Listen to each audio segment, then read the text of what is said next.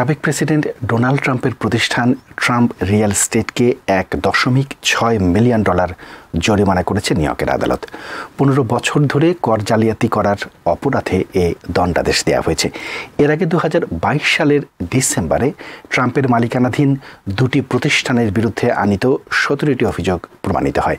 সে সময় মামলার যাবতীয় আনুষ্ঠানিকতা প্রায় শেষ হয়ে এলেও আনুষ্ঠানিক রায় ঘোষণা বাকি ছিল।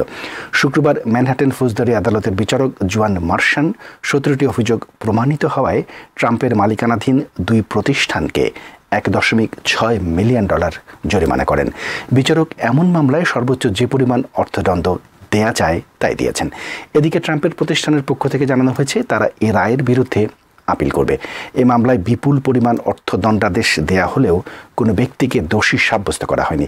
কেবল কর জালিয়াতি নয় ট্রাম্পের বিরুদ্ধে আরও অভিযোগ রয়েছে।